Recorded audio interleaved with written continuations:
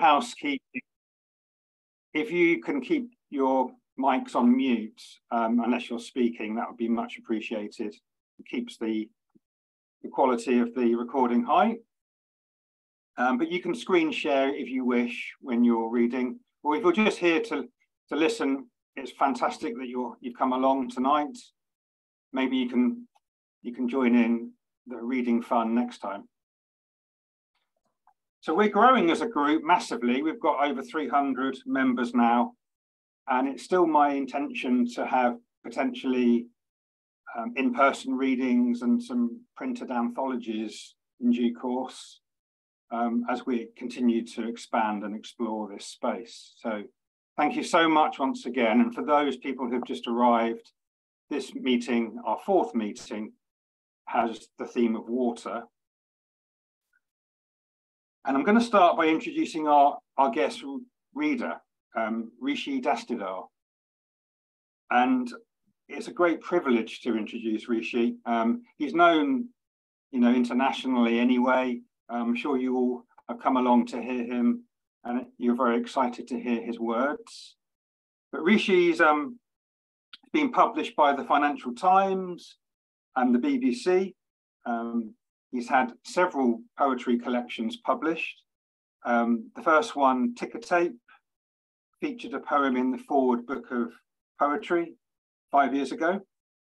And he's had two collections with Nine Arches Press. Firstly, Saffron Jack, published in 2020, and Neptune's Projects, published in April this year.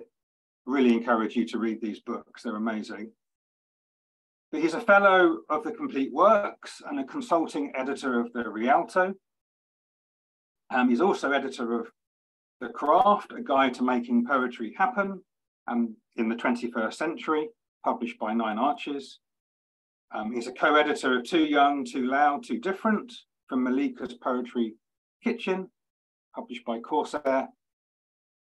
So he's incredibly busy, and this is only, you know, probably a fraction of his activities. Um, he's a keen runner and sports fan, so I like that very much. Um, um, so the floor is yours, Rishi.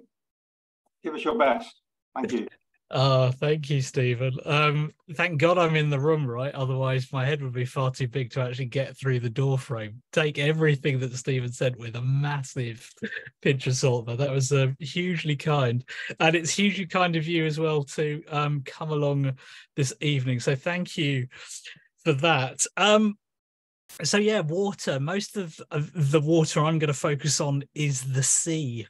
Um, uh, yeah, mainly because I'm going to be reading mostly from, yeah, in fact, in its entirety from um, Neptune's project. Uh, I must confess that I forgot the chemical part of the and the chemistry part of the brief. So if I manage to hit that across the next um, 15 minutes or so, um, that will be by chance rather than design. But hey, chance is good. Um, let me start with this first poem because it, it, gives you a sense and a vibe of what's going on in the book and helps to explain some of the premise and the ideas that are floating behind it. It's called Solaris, a sequel. One. What does a god, now simply a mascot for a sports team, dream of? Others dream of the lovers who were, lovers that could have been, a life of potential epics. Or maybe even ones real to them, coming back to them once, a precious, almost lost drip of bliss in an endless desert of never taken chances. Or maybe every night an immersion in the best times they ever had. And so, why would you ever want to leave? Why would you ever want to lose any aspect of that memory? Instead, Fight the attempt to put time into folder shaped chunks that fit easily into filing cabinet shaped cortexes. Instead, revel in the endless possibility of time, life with her, that was all suggested by that lingering kiss under a station railway clock in what we used to call Versailles about 500 years ago. Two. You would think that a planet awash with the substance I am in charge of, that I control, the elemental force that makes me me that I would draw strength from that. All powerful and unopposed, the world is now me. I am now the world. All of this is my work, so I am mighty, and you should despair. Trouble is, I despair too. I am not mighty, I am overwhelmed. Turns out that I needed something land, any land, more land than this to define myself against. My force needed limits to extend its range, to shape it into something useful. And there is not enough of it to mean something to me. Instead, I sit here drifting, waiting for the next match to begin. Three, I don't have dreams anymore. I just absorb the ones that everyone tells me, like in some way I can give them comfort, consolation, absolution, joy. Once, maybe, I could have done when things, events, the world were more in my command. But the secret is, I am as much adrift as you. So the premise is that, or not the premise, but should we say, um, the the main character who is floating around, pun intended, this book is Neptune, god of the sea. Um, weary, forlorn, sarcastic, angry at his favorite species, um, who've decided to do what they're doing, the, to trash the sea and the planet, and don't really seem to give a damn about it. And, you know, and actually, as he discovers through the course of the book, he's pretty powerless to do much, if anything, about it. And so many, if not a lot of the poems, you know, hinge and focus around that sort of idea and that sort of voice. And as you could tell from that, he um I've given him a voice which is, yeah, at once lamenting, but also can be quite vituperative, sardonic as well. Um, but also just, yeah, often quite um, plain speaking, wondering at the at the um the slight strangeness of these jumped up mammals. Um, this next poem will give you a sense of that. It's after, um, if you know the German um, artist Gerhard Richter, it's after one of his works, uh, Seascape CC. Um, and the poem is called Neptune's Polaroids. The sea is above me, the sea is below me. Who needs the filter of a sky? These rollers resist narrative, metaphor, the beautiful, the beautiful thing is not being sure. Reality becoming as fuzzy as a sleep round its edges, imperfect in its perfections. I am febrile and I allow for the failure of your iceberg hunting expedition. Hesitancy is a curse, but so is questing. And modernity is rusting in me. Or is that resting? You can have the dream, all I want is the light and a girl with a green hairband to read me the shipping forecast as I drift off.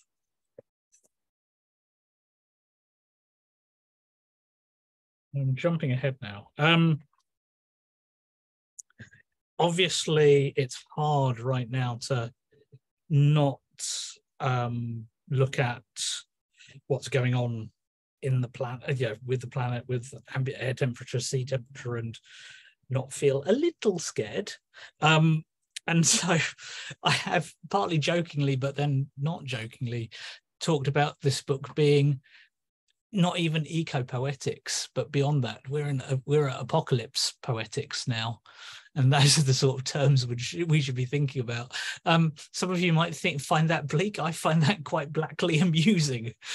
Um, I don't know if that says something about my cast of mind. Um, and these next two um yeah dance around those sorts of poles um the um the despair of humor but also the ability to survive using that as well the first of these two is called test card Heat Wave. mostly what i see is the fuzzy sort of nothing that comes from seeing too much too fast a distinctly indistinct pattern, which is insistently telling you that if you crack me, do your signal stroke noise thing, that apparently your temperament and talents make you well suited for. So you kept being told by people who could read your eyes, but not your heart. Well, maybe you might, well, maybe you might just save the world. Oh, but probably not. I mean, we've all seen the news, the hot news, the burning news, the apocalypse won't be as warm as this news. But you know, the real headline is Fortress Europe can't keep out all the climate change migrants. And all the brand onions you slice while wearing your thin on trend suit won't put that into culture, will it? Um, and this is a more extended version of that tone, a slightly different tone. Um, I should say that um, the well, you'll hear as I get into the poem, but yeah, it is mostly true what follows, and the dream did happen, and um, yeah, and the rest of it. It's called New Planet Who Dis. Of course, poems that start, oh, this was a dream are dull. But honestly, this was a better than average one in that I dreamt it 38 years ago. And I still not only remember it, but carry it with me like a good luck charm. Though once I tell you about it, you'll more likely think of it as an amulet of doom. Anyway, I must have just watched 2001 and you know how fucked up that. And so our future is, I, I, digress, but I'm pretty sure the film triggered the dream. Though at this distance, who knows, who cares? Right.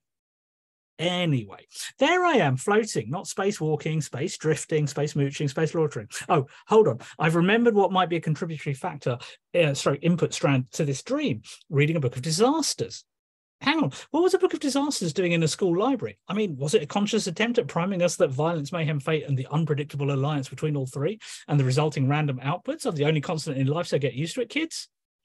Anyway, in this book was an account of how, on their return from space, some cosmonauts were in- incinerated because the hatch on their capsule didn't shut properly. And of course, I should go to Wiki to tell you more about this, but this isn't that kind of poem. And right now, I'm kind of out of love with footnotes. I mean, how much baggage am I actually meant to carry on this whole living trip?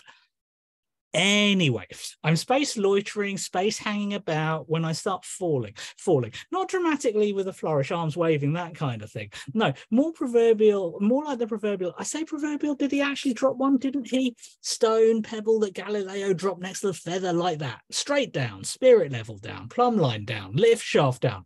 Oh, maybe Towering Inferno is somewhere in this mix too. Remember, all the flames up the lift shaft making Faye Dunaway's eyebrows shoot up? Anyway, the point is, I'm going down and I'm going and going, still inside the spacesuit, no rotating or piking or somersaulting, just arrow, ramrod, cannonball, whatever, sonic boom through all the wispy hair bits of the atmosphere. Not slowing down, even though I know the physics say says I am, and not burning up either. Just a white heat Michelin man with a body-born Hoover and a grudge, and on and on. Even though it makes it sound endlessly slow, which it wasn't, because then there is a desert, no canyon type thing, arid, not sandy, and definitely a cactus, and land land without leaving a mark on the ground, not a trace, a thud on impact, a sound, not a dust mote, an atom disturbed. And I popped the visor on my suit and I found I have become a coyote, hyena, a wolf. What? You want a moral too? Fuck off.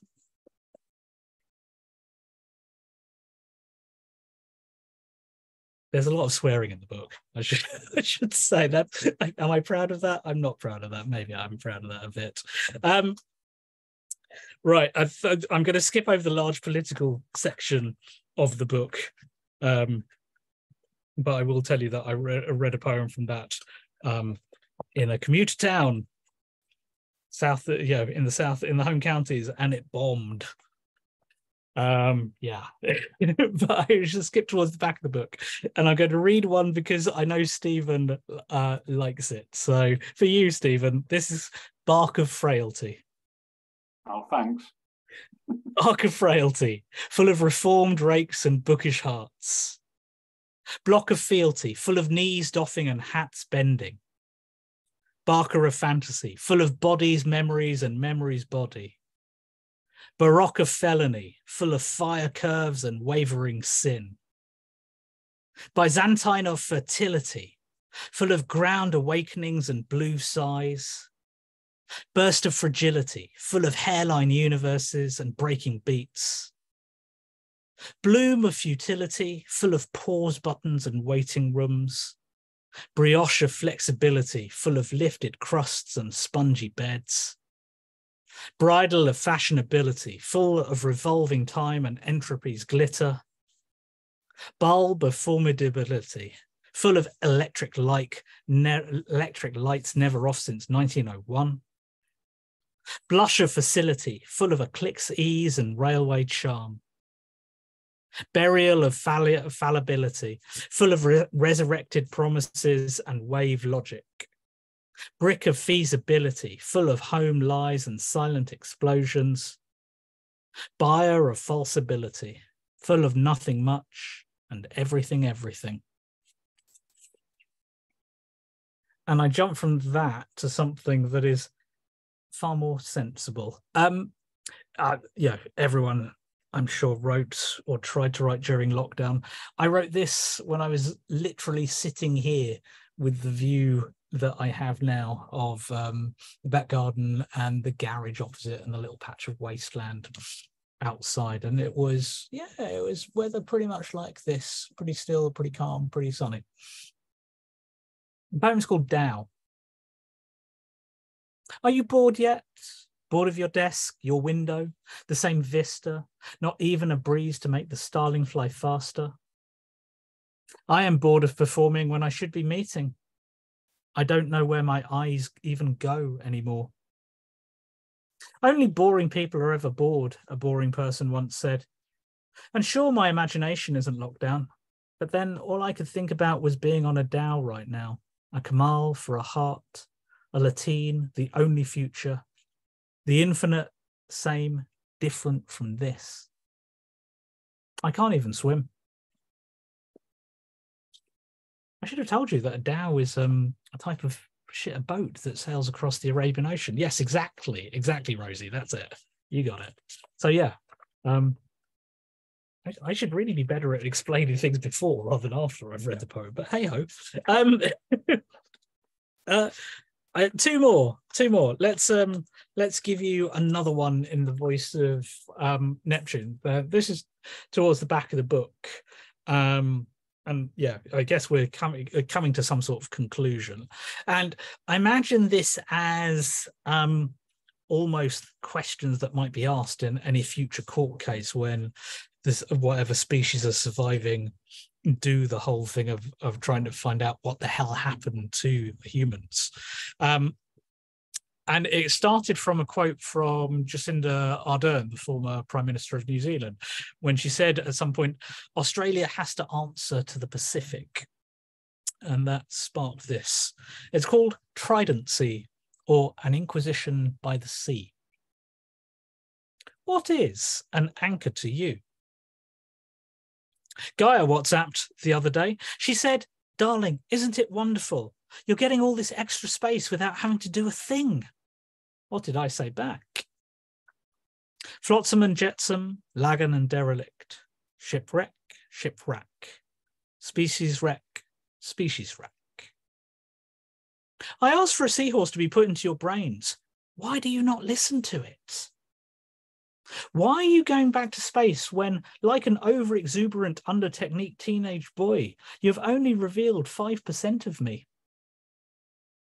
Peace is to Pacific as Atlantis is to Atlantic, as apocalypse is to blank? Question mark.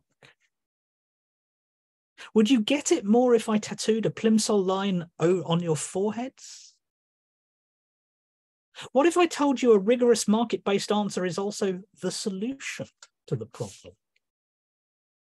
What if I told you I'm not wine dark, but angry whiskey living boiling, mate? What will you do in the Nova Sea? If you love me like you say you do, why are you treating me like this? Doesn't it always feel faster at the end?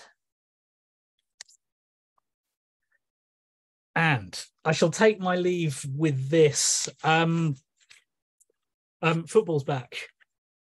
Premier League starts on Friday. Um, I'm an Everton fan for my sin. It's my very, very big sin. So um, this feels like it's going to be a pretty accurate write up of how the next 38 weeks are going to go.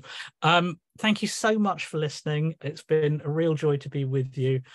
And I shall leave you with this. The poem is called Neptune Clough. The previous manager had suffered the catapult, inevitable after the weekend's mauling. Despite his pleas for a vote of confidence, he was ushered over the ramparts with a twang and a cheery, It's not cold! One match left, a win required between this boyhood passion, this money sink of a mistress, and oblivion. Who could rally the men, lift the burden of heavy light that oppressed them all? It was a watery hand that dotted the contract with a conch dipped in squid ink. The chairman gave Neptune only one command The nights in this town are coloured grey. You, my son, are the ibuprofen. Saturday comes expansive in its possibility, the glory on offer to those who wield the dagger expertly enough. Five minutes before kickoff, and the jobbing god has lined up not some last minute tactical advice, but a candlestick of gin for everyone.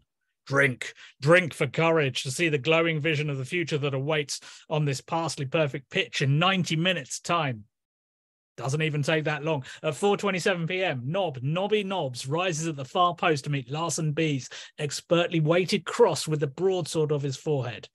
And with that, Neptune rises from his rocking chair in the dugout, throws his trident into the sky, and runs down the tunnel to avoid the ice bucket celebrations breaking out on every side of the ground. Thank you very much. Super, thank you. Thank you, everyone. Very kind. Yeah. I'm just trying to work out where Sean Dyche fits into the poem there, Rishi. the end. I, again, I, will let you know in January when he, when he, when he eventually gets you know fired over the ramparts. Yeah. That's the Everton manager, everyone. Yeah, yeah. Um, yeah, fantastic. I, I love um, the poems in Neptune projects. The they're so imaginative, and you really do get immersed in this sort of dangerous universe that we, that we live in. Um, do go and buy a copy, everyone, if you haven't read it. It's fantastic. Um, yeah, so once again, please join me in appreciation for Rishi um, and his reading. Thank you so much. Thank you, everyone.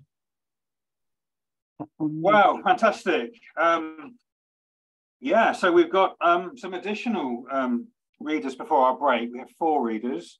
Um, and the first one is Miranda Lynn Barnes. Um, she's well known to Molecules Unlimited and to many of you, I'm sure. Um, Miranda actually recently was awarded second place in the Verve Poetry Competition which is great. And she's had um, collections published with V Press, Blue Dot Abada. And I wrote formulations with her that was published last year, um, published by small press. She's the editor of Consilience. Um, um, she's a, well, one of the editors, and she's a, a researcher, educator, and has published in many other places as well. So without further ado, I'll give you over to Miranda. Thank you very much, Stephen. Um, and uh, can everyone hear me okay? Yeah, okay, cool. Um, so I'm going to read a couple poems, and one of them um, I wrote for the evening, and it came from a uh, an article that I read, and basically the title tells the story of that article. It's a quantum experiment reveals photosynthesis begins with a single particle of light. All it takes, just one photon, a single shiny crumb. The herald holds back while its fluorescent consort sends up a flare from anywhere. Proof the quanta splits the water in a man in a manner only Moses could mimic, only in miniature a minuscule corpuscle. Then hydrogen hides in the dark, slicking itself with sweetness, feeding the green. And there you are, the light shining, each scintilla of air billowing towards you, crashing like a wave into your lungs. So I was just kind of inspired about the interactions of water and light um, and in this particular discovery and and how it's can just be such a tiny fragment of reality that makes this this happen that creates all the life that we we know of through that combination. Um, and sort of following on from that uh, i thought i would read a poem that it came about as a as a result of a, a, collaboration I did with Tanya Hirschman many years ago that that never actually thank you Stephen uh, that never actually got published anywhere um, but was a lot of fun. Uh, we played with creating uh, forms from physics um, which inspired me to to work on the formulations project with Stephen. Um, and so this is sort of more of a physics angle uh, no pun intended but it's about how the light hits water in a glass and and refracts. So it's it's it's looking at that. And in the shape of the poem it's reflected as well. A ray of light is incident on the surface of the water as shown. Your eyes glint against the glass as raindrops do in puddles outside the sliding back doors. We are polarized on opposite ends of the day I sleep and you're awake as I was before. A swing shift of the worst kind, reminding me of years spent in lesser lonelinesses. The bed is bleak and cold. You start your day in the coming dark. I'm dusk's cold sister, and you're downstairs wishing for an arc. In the autumn days shortening, it seems like a week since we last shared a morning kiss. The incident on the water is light rays on the surface. Mm. I know the break in our days came on Monday. It's only Tuesday. At midnight, I find you in the kitchen making tea, and rain is glossing the windows with bits of gold, while drops provoke a thrum from metal drums outside. It is an easy silence that we know, a press of lips that comes with slowly wrapping arms around. Peace glows from your eyes, born of this incandescence between us that pays no mind to ours. We know there are stars above the water. On the surface is a ray of light. Thank you. Thank you, Miranda. Lovely. Wonderful. Okay. We're going to move on now to our second um, open mic reader, which is Clodagh Beresford Dunne. And Clodagh is also well known to Molecules Unlimited and read last time as well. She um, is a poet, lawyer, and writer, and um, was awarded the Arts Council of Ireland Emerging Writer Bursary. Um, and she read Seven Sugar Cubes last time, which was voted Irish Poem of the Year, 2017 Irish Book Award. And she'd also um, winner of the UK Clarissa Luard Award in 2019 for emerging Irish writers. So over to you, Clodagh. Thanks, Stephen. Um, I hope it's really nice there. It's lovely in Southern Ireland tonight. It's probably the only nice evening we've had in about seven weeks. So it was, um, it's, it's typical. The moment you go on Zoom, the sun comes out, you know. Um, thank you, uh, Rishi and Miranda, for such beautiful poems. Um, I particularly love Bark of Frailty. That's one of my favorites too, uh, Risha. I'm so glad I got to hear it. Um, so uh, I'm just going to read a short poem because uh, this theme was water.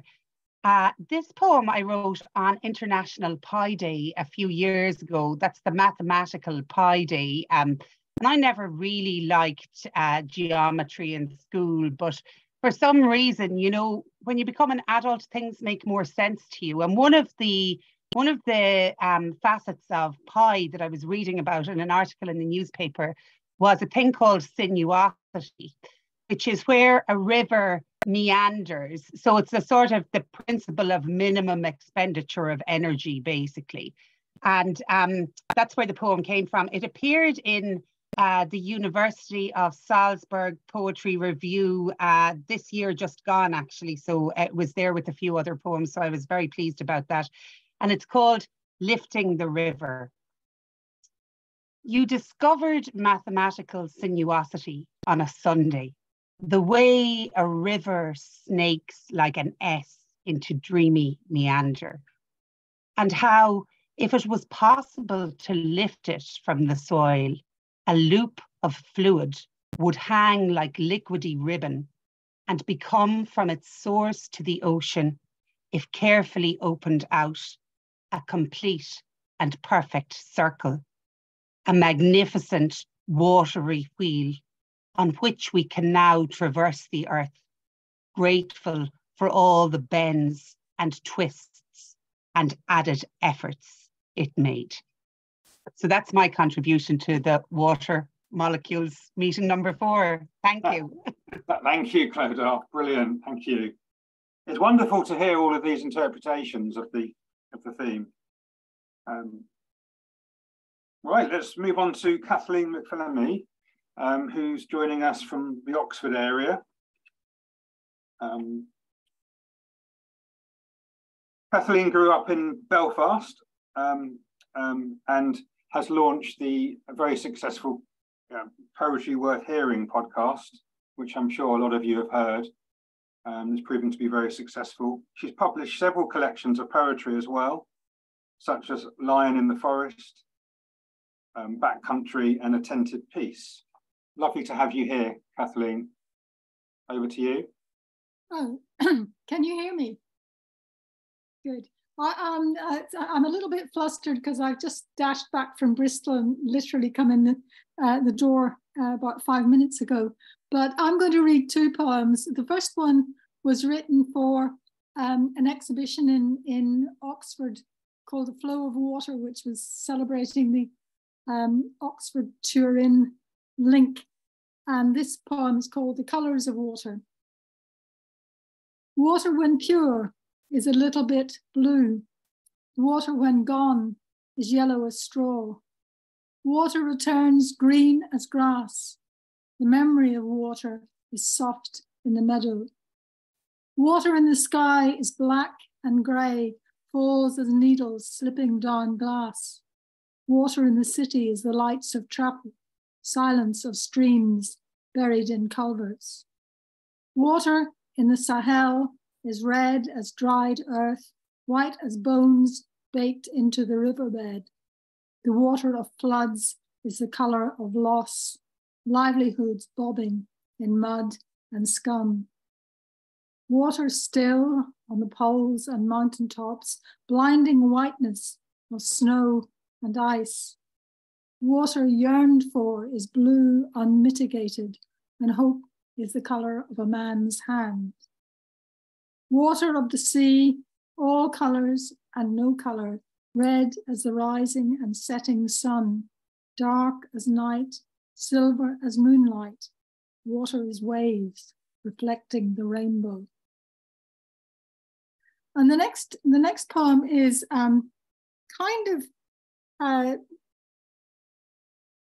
prompted indirectly by Stephen because I'm Stephen gave me a suggestion and it's turned into a, um, a project where I'm writing about the history and geology of County Antrim in, in Northern Ireland. And um, it's a project that's going in all sorts of directions, but one of the things that keeps coming up is water and rivers. So this is a poem called H2O. Water is ice dragging itself over land to round the drumlins, make fertile fields. Water is sea curving round sills of dolerite formed when the earth boiled over.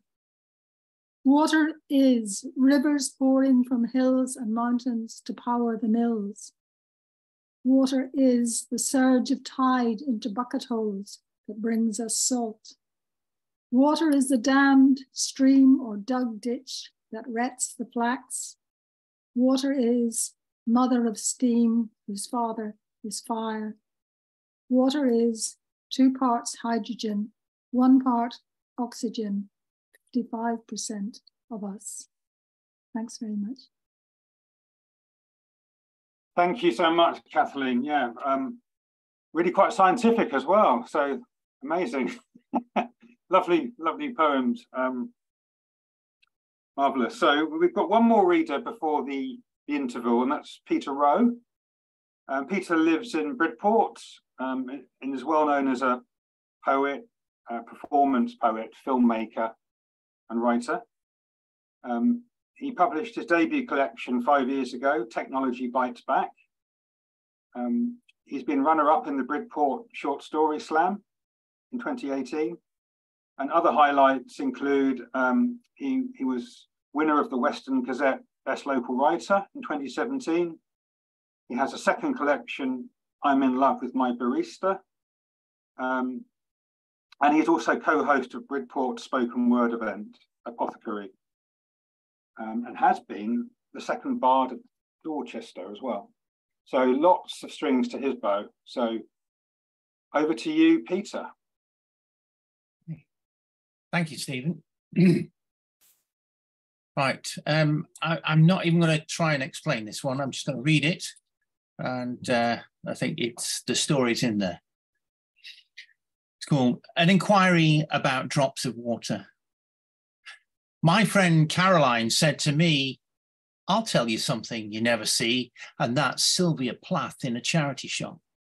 I had to disagree. Just the week before, I found Sylvia cheek by jowl with Ted in Oxfam in Bridport, and I didn't have the heart to split them up, so I took them both home. And now they're sharing space in my rented place, shoulder to shoulder, shelf partners together again. And I have to consider the coffee I drank in the bookshop in Hebden Bridge, the beers I had in the local pub, and I wonder if any of the drops of water have been through the water cycle evaporation, condensation, precipitation, transpiration. Do you think it's possible that I could have Ted in my head and Sylvia in my heart?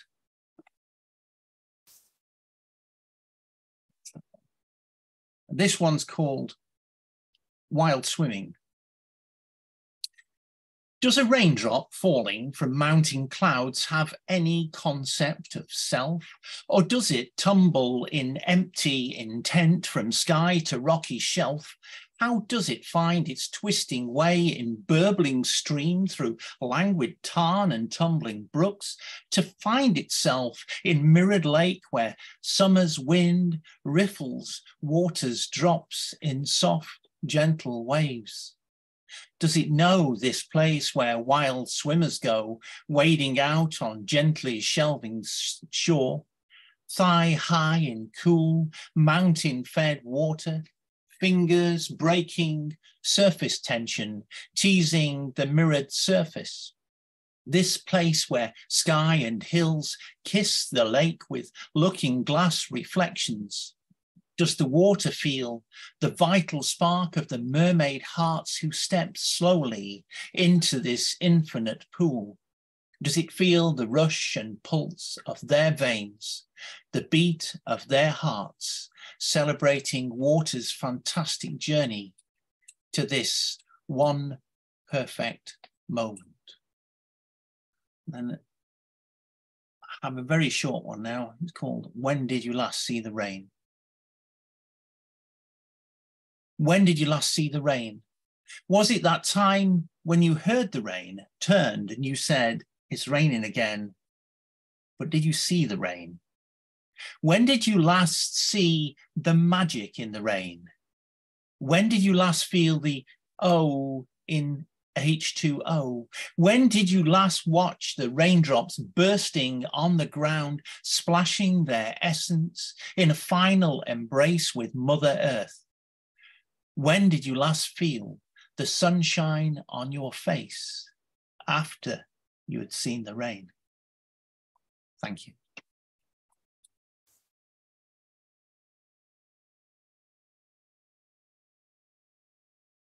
Thank you, Peter. Amazing.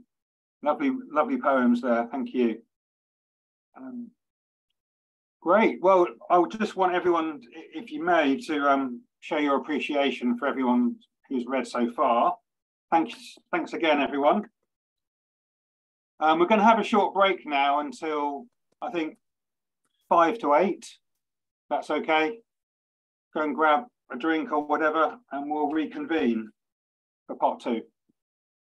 Thanks again. Do we keep do we keep the Zoom open?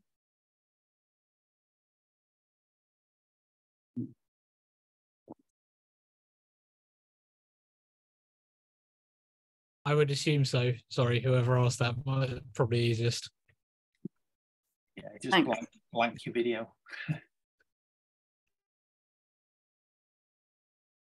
yeah, we'll just use the same link, so it's it's active.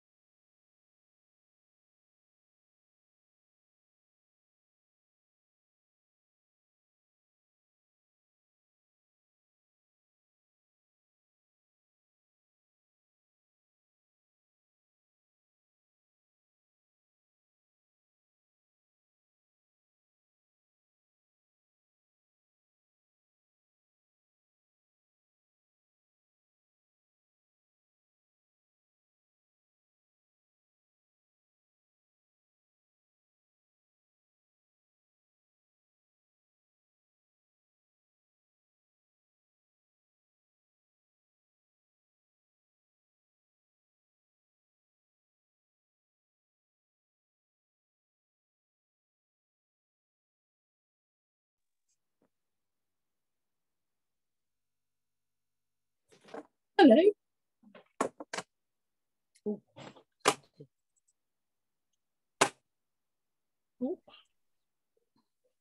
Hey everyone, yeah, welcome back. Um, I guess we all had something with water in it to drink. um, Actually, not yet. unless you really go for the hard stuff, yeah. So, Oh. Yeah, so wonderful um, to continue with these water-themed poems. And it gives me great pleasure to introduce our next reader, um, Mandy Haggith, who um, spends a lot of time on the water, actually, up in the Northwest Highlands. Um, if you haven't read her book, Briny, I hugely recommend it by Red Squirrel Press. Mm. It came out last year. Lots of poems about the sea in there. Um, but Mandy is um, a poet, um, a writer of fiction and non-fiction. Um, she's had several collections of poetry, I think five, um, of which the most recent is Briny. Um, so yeah, without further ado, I'll give you Mandy Haggith.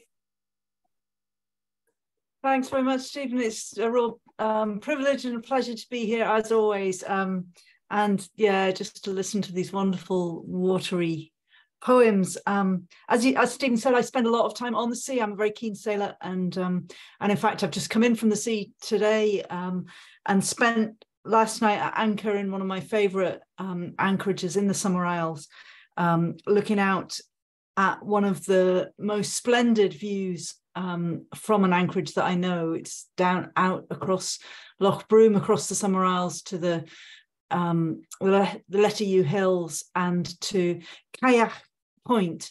Um, Cailleach is a Gaelic um, crone goddess um, attributed with um, creating the world, but also she's the she's the um, the hag of storms and bad weather and danger at sea, amongst other things.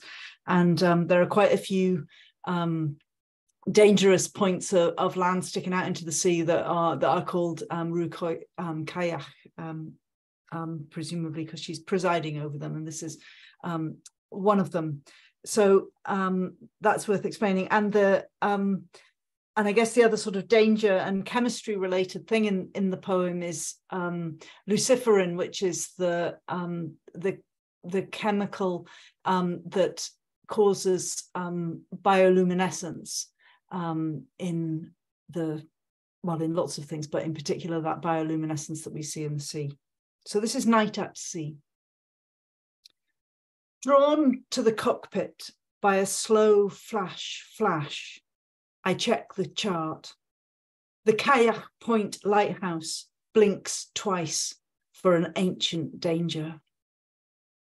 The mast props up a starry sky. The Milky Way, silver river, flows countlessly overhead. The tide is falling, and the surface sparkles with what I take to be reflected stars until I see they are alive. As ripples turn the sea skin over, its inhabitants flash their own warning. I stir a phosphorescent whirl of water sparks. This moonless night is lit, its darkness splendid, accepting our detritus, paying for it with diamonds. Thanks very much. Thank you, Mandy. Fantastic. Lovely to hear that poem and, and the context around it as well. Thank you. Um, fantastic. So let's move on to uh, Neymar Chamchoun, um, um, who is a British Moroccan writer and poet, um, author of COVID, The Wordy Wilds of a Mind Under Lockdown. Um, over to you, Neymar. Okay. Um, okay, so I'm going to share two poems, which are, I suppose, mildly related to water. First poem Global Warning. It must rain. This is insane. British weather synonymous with wet and glum, not tomorrow or the day after, not even next week. A sizzling tarmac, greedily drinking in the heat. Surely the heat must break. It has been too long. Unqu- unquenched days, gasping for rain. 144 days and counting. Little or no rain as we writhe in our sheets, perspiring as the sleep retreats from the heat. The simmering air that clings to our skin. Farmers waiting for the heavens to open as their dehydrated crops curl. The grain, unable to sustain the world, burning forests, singeing the heavens. The memory of fresh crashing drops against the window, our skilled dissection of the misery blighty bestows. Rain, rain, go away, come again another day. The skin's longing for the sun, artificial warmth turned on. Rain, rain, come again, wash away our climate sins. The Sky shuddered as the sighing showers came, first silently, then sliding on glass, teasing the grass, then clattering and colliding like a chorus of drums. The sliver of a stream winding through the gutters, frantically reaching and merging with the flow, a symphony of tinkling glass as they tumble below, twisted brollies as the work weary run for cover, advancing from soggy stroll, stroll sorry, advancing from soggy stroll to race. Water carries water, faster and faster, swirling gloriously, picking up the pace. Out of the flames and into the sun, its freshness washing away fatigue. Our distressed gardens briefly relieved an ocean of souls merging with the sea, caught between the floods and the fires. A, a flailing cycle of too much and not enough. Pledges of green swept away by commerce's thrust, helplessly watching as time expires. Thank you. And uh, the second piece, which I, think has a, a watery uh, background, if nothing else. Perpetual parlance. We parlay on the plier, a liquescent blue rhapsody tablecloth with fluttering white trim. Beyond the cobblestone pier, la vie de la mer. Beyond what the eye sees, the air laced with grilled sardine, pierced by the scream of the lifeguard's whistling ire. A tanned figure unfurls his mat on the sand facing east southeast, his hands raised to his head. You beam with the brilliance of the sun. Like the sea, the moment brims and runs into the horizon and mountains crowned in mist. Our words swallowed by the seabed, as the waves crashed and curled. A rainbow ocean of palpitating parasols greet an angel blue sky. Streaks of gold and silver clutch at sunlight, polished by the sand's rough. The world is more than enough. Its troubles breezily pass us by. There is no darkness when the sun holds back the night and summer's sojourn cups the buds of the soul. We playfully parlay as the children run and splash, their squeals of delight cutting through the ear, air before finding our ears. Our words fisher and alight, card games and cigarette ash, warm plastic cups of ete, fishing for seashell keepsakes, in the resting baking grains, heat painted salty limbs, your chiseled shoulders uh, glisten and smolder. When the dream wakes, only shells remain, and our voices in the sea's basin where the spell never breaks. Thank you. Thank you, Neymar. Wonderful. Lovely to see you here. And um, yeah, this is fun, isn't it? Yeah, this is um, an enjoyable um, journey through water tonight. Um, so thank you, everyone, again. Our next reader is Evelyn Pye, who um, is one of those um, kind of poets with a, a mathematical or scientific um, viewpoint as well. She's from Glasgow. Um, she spent some time in Zambia and taught mathematics at Caledonian, Glasgow Caledonian University for um, a couple of decades. She's published in many poetry journals, um, like The Interpreter's House, um, and has two collections um, of poems, Smoke That Thunders by Mariscat Press in 2015, and Red Squirrel Press published her second collection, Steam, last year. So um, over to you, Evelyn.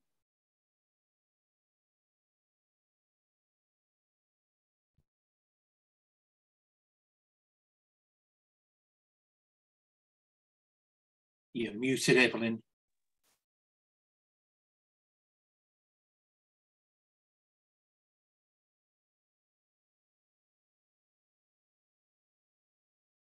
You'll have to bear with me. I have COVID. and I'm half asleep and half awake at the moment. So where was I? Yes. Um, I will add a little bit of gravitas to my voice. Uh, displaced. I came home to this curve in the Clyde to feel the ease of water passing by. Watch ships slowly slip away, swathed in comfort, safe in my skin, bathed in the mutter of guttural words. But the climate has changed. The river swollen all winter, familiar smur replaced by torrents. Drains overflow and drench the soil. The rockery is dressed in dark green velvet. When I bought this house, I never thought to ask its elevation. I didn't investigate topography or worry about thermal expansion in our oceans, ice sheets melting in Antarctica. Now, when I drag my reluctant eyes across the latest flood maps, my road is paint spattered, a dark blue stain spreading closer ink spilled on glossy paper. No one knows how long I've got. In 20 years, the sea will rise another foot or maybe three. I could live that long, but not here. I can't stay here. Um, the other poem I'd like to read is called Mother of the Sea um, I started off with the idea of really just writing about Kathleen Mary Drew Baker, um, 1901 to 1957. But what came out of the poem was a little bit more than that, more about the way science is considered in two different societies the society in the UK and in Japan. Mother of the Sea, in memory of Kathleen Mary Drew Baker. For centuries, Japanese sea farmers plunged poles into shallow water, tied on homemade nets, harvested red seaweed for sushi. But after the war, the crops failed and they called it gambler's grass, walked on legs like nobbled sticks, died on the beaches. Far away on a Welsh shore, Dr. Drew collected algae in old jam jars, grew lava in a tidal tank, discovered a conchocelis phase, leaf filaments bored into shelves, turned pink as Saturday night lipstick, ripe seeds ready to spore the sea, curled like caterpillars in the chrysalis. The pollination of pure science. A few lines in Nature magazine on the life cycle of Porphyra, written with no thought for the Japanese, led to artificial seeding. And soon sushi leaves were flapping like russet butterflies all along the hungry shoreline. Each year at cherry blossom time, a crowd gathers on a windy hilltop by the Ariake Sea Dr. Drew's academic gown is draped over her Shinto shrine. Branches of Sakaki, the holy tree, are laid on the altar with offerings of fish for the mother of the sea. Thank you.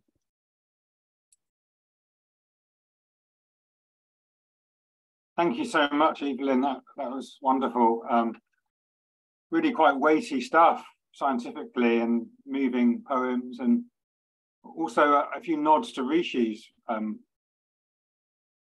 sort of uh, eco-poetic angles as well. So thank you so much. Um, brilliant. And get get well soon. It's amazing that you're even here. Um, um, crikey. Thank you so much. Um, and yeah, look after yourself. um, okay, I've got a short poem now um, before I hand over to Rosie Barrett. Um, I was interested um, in exploring, is there something beneath water? So this is called living water. Living water. I lurk beneath water's definition, glass ceiling above, glass bottom below, glass on my left and right. I drown in a gin. I drown in a rum. It is liquid for lunch with no smell of spirits. I form water's vertebrae and its shape, bending light above, bending light below, bending chemical sense. I swim a surface, I swim to the depths, looking for a perfect blue in the visible range. I hold back from wetting the world of dry. Thirsts look for me here, thirsts look for me there. Thirsts are what I live for. I rinse this cosmos. I rinse these atoms. I wear colorless coats like molecular ghosts. I am at ease with earth, wind, and fire, waves inside others, waves outside others, waves and cubes of water. I form the concave, I form the convex, I soak up lots of heat when the sun goes all grill. I surge through water, the waves touch my voice. Thank you. Okay, and now I think Rosie Barrett has um, poem. Um, Rosie um, was shortlisted for the Bridport Prize in 2017 and, and was commended in the Indigo Dreams pamphlet competition. She's published widely in anthologies and magazines um, and features in Called to the Edge, an anthology with other writers from the Plymouth area like Abigail Robinson. Thrilled you're with us as well, um, Rosie. So over to you. you. Yeah, and most recently, and I'll give it a plug, it's called Unearthing Dartmoor. And it was a collaboration between the Moor Poets and the uh, Mark Makers. And there, and it's it's beautiful. And Waterstones will, if, they, if, if you ask for it, they will actually give it to you. Otherwise, get it from me. right. Um, when the gulls are walking, not swimming, that's when we drive the tidal road. Egrets are a good clue, a rule of thumb as they pick their way round the potholes up to their ankles. Fine. Elbows, not so good. Our flocks of summer visitors get casual. Some ignore the triangle with the car tipping over the edge. The words, impassable at times. In this time of extremes of doubt and flood, here we're blessed with only a hint of the future. We gather up the confused and bedraggled, dry them, warm them, whiskey and water them, offer them a place to sit where they can watch their pride and joy disappear briefly below the brackish water. Satnav doesn't always get it right. And if you find that confusing, because I read it to someone the other day and they had no idea what I was talking about, I have actually, and so I'll obviously have to work on it. I've sent you a couple of pictures and the poem, and it'll be on the Molecules Unlimited thing um, after the after we finished. Thank you. It's amazing. It's amazing how many people don't look at the sign and see the water and think, "Oh, I can drive that." No, they can't. yeah, absolutely. Thank you so much. Um, and yeah, I would encourage everyone to share what you want on the on the group um, site on Facebook or wherever on social media. Let's try and get your wonderful poems out there. Um, so thank you so much for that, Rosie. Um, um, I'd now love to introduce um, someone well known to the group, Isabel Del Rio.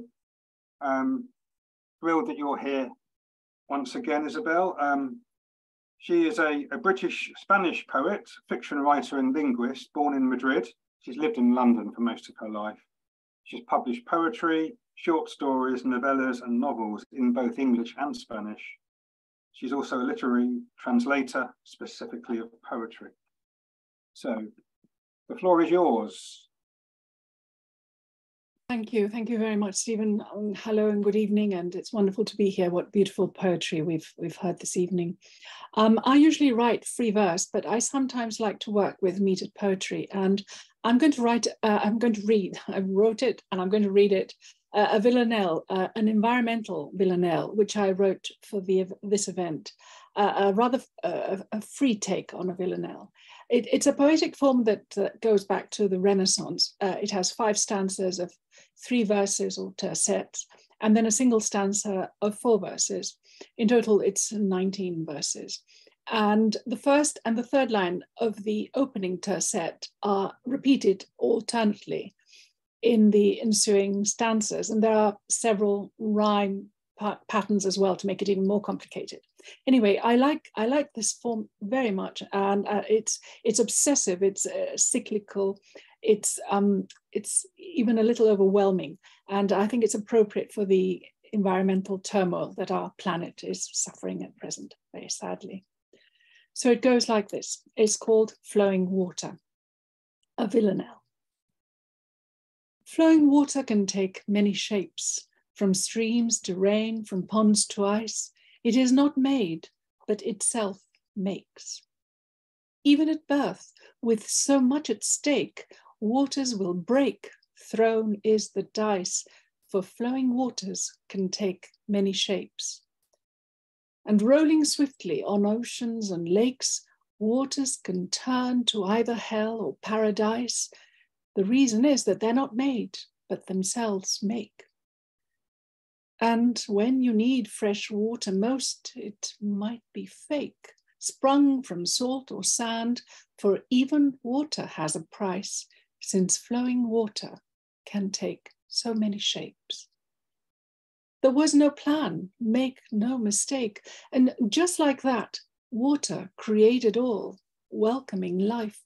You see, water is not made, but itself makes. And when the very final drop of water burns, it will spell the end and nothing will survive, for flowing water had taken far too many shapes, and all the things it made were made to dry. Thank you. Thank you, Isabel. Lovely. Thank you. Um, yeah, and thanks for explaining why you chose that form as well. That's really interesting. Um, wonderful. Okay, I'm going to stop the recording at this point before we carry on.